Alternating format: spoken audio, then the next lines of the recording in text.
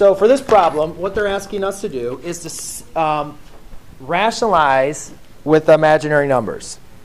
So the main thing when we're looking at this, ladies and gentlemen, is I want you guys to kind of understand what we've talked about with imaginary numbers. So in Kevin, when we're dealing with imaginary numbers, we said that I represent the square root of negative 1. And we don't know the square root of negative 1 in our real number system. So we designate it with i, which is going to be in our imaginary number system. So right now, we don't have, like we said, it's in our, in our imaginary number system. It's not in our real number system. So if I take a real number and I divide it by i, we can't divide it by, not, these are not in the, like the same, you can't divide it by i because we don't have that in the real number system to divide it into. Does that kind of make sense? So what we want to do is we want to get rid of dividing by i because i, remember dividing says how many times is i going to go into 8? Well, since i is in your imaginary number system, we don't want to divide by divide um, 8 by i. So what we're going to do is we're going to get i off the denominator. So to get it off the denominator, that means we're going to reduce, um, have it not being divided.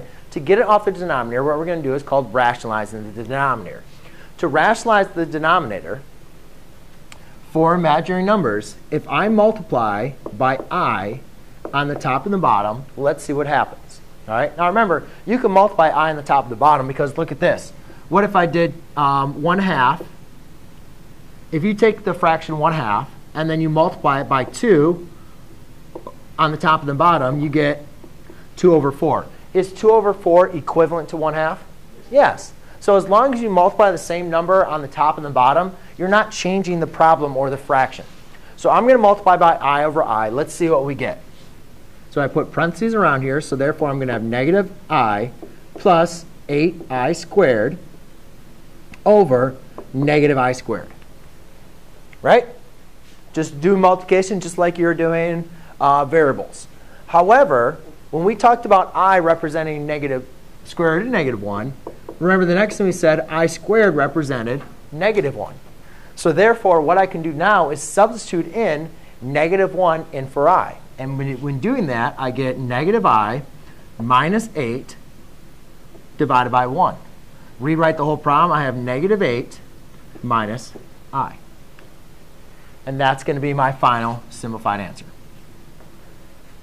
Okay? And then this is in complex form, which we talked about how to write our problems in, you know, in, as a complex number, correct? So we talked about how to write a complex number.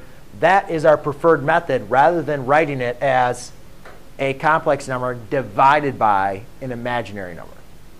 All right, or another complex number. All right, that's all you guys got to do. Does that kind of make sense?